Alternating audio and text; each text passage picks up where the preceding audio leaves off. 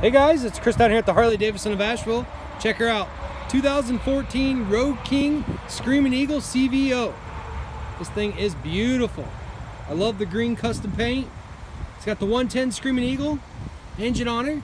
It's got four point docking hardware. So you can add a backrest, luggage rack, or a tour pack. Let's check out the mileage. It does have LED lights underneath it. 25,119 miles practically brand new. I'm fired up here for you.